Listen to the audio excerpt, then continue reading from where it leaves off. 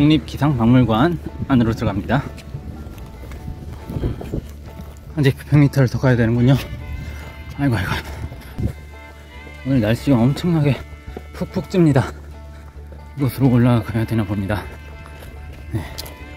접근성이 좀 떨어지는군요. 기상청 예터. 아, 서울 기상 관측소.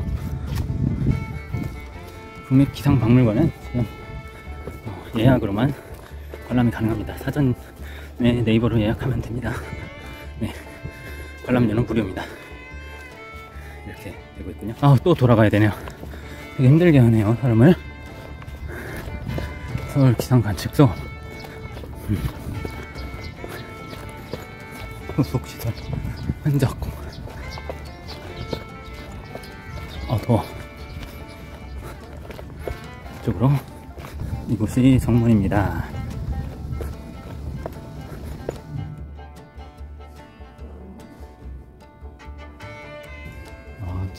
하늘을 삽니다.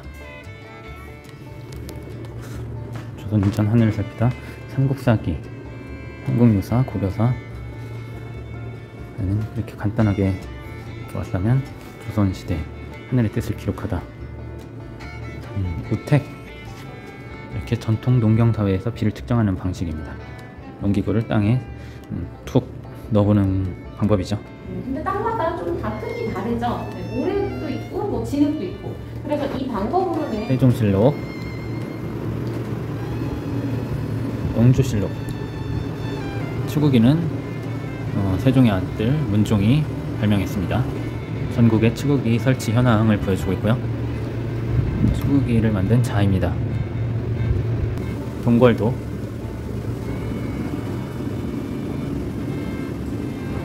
치구대네요.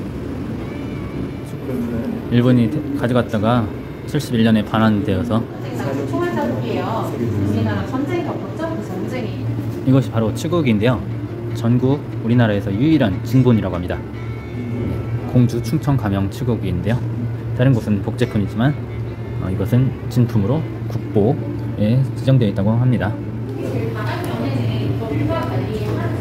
관리자에게 지금까지도 하나하나 새겨져 있는 기록이 잘 돼. 치국이 비의 양을 강수량을 재는군요.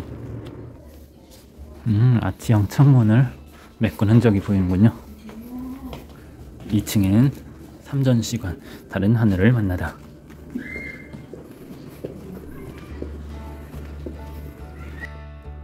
서양의 기상 관측 그런 기구 역사. 근대적인 기상 관측을 이 항구에서 제일 먼저 시작을 했습니다. 아 지금도 131 일기예보 전화번호 아직도 운- 운영하고 있다고 하네요. 제가 어렸을 때 어, 많이 부모님이 사용했었던 전화번호인데. 예, 기압계 풍속계 자기 우량계 그리고 습도계입니다. 기록에서 통계로 지금 현재는 자동 기상 관측 장비 AWS 전국에 한 600개 이상 설치되어 있다고 하니까 한번 찾아봐야겠습니다. 백엽상 어, 초등학교 때 학교에서 봤었는데 온도계 라디오 존대 4. 하늘을 가까이 하다 예, 일기예보 생성 과정입니다. 먼저 기상 관측을 하고 수치 예보 모델을 통해서 예보관이 분석하고 예보를 생성해서 생산해서 정보 전달을 합니다. 와 예보관이 하루 엄청 바쁘네요. 사람이 직접 그 예보를 생산하는지 몰랐네요. 기상 정보를 생산하다. 실시간 위성, 인공위성 영상입니다. 이게. 와, 지금 와, 몇 분 전 지금 다 보이네요.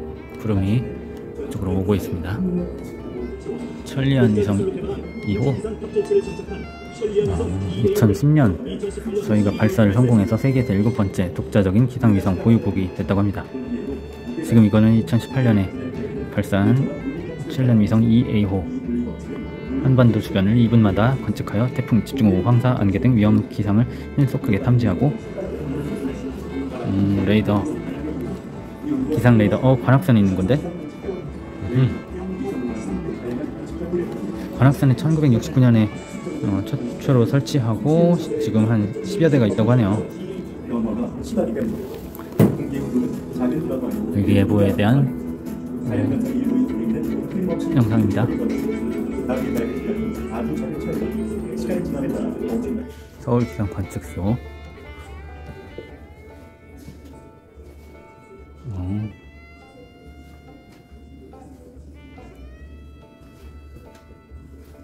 건물 자체에도 문화재라고 합니다.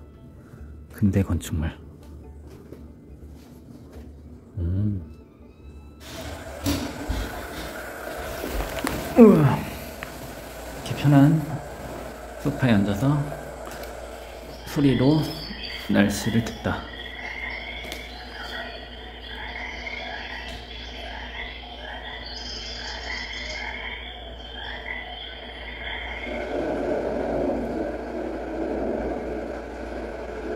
어, 설문을 했던 이런 좋은 음, 볼펜을 주셨습니다. 좋네요. 각종 기상 관측 장비가 많이 있습니다. 와 밖에서 보니까 이렇게 멋지네요. 야